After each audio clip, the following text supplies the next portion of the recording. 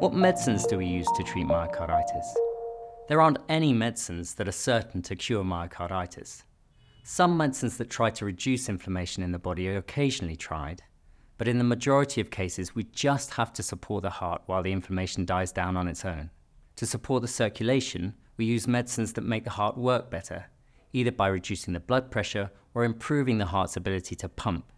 Sometimes, a medicine known as a diuretic can be used to help remove extra fluid from the lungs or other parts of the body. When the heart isn't pumping well, there's a risk of blood clots forming, and these blood clots can move to any of the organs of the body and cause damage. For this reason, we give medicines called anticoagulation to prevent blood clots forming in the heart and the vessels.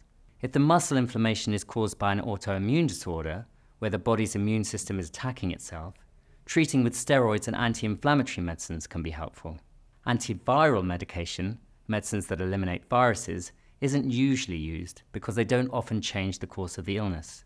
Researchers are also looking into other medicines that can help reduce the abnormal immune response that can make the condition worse.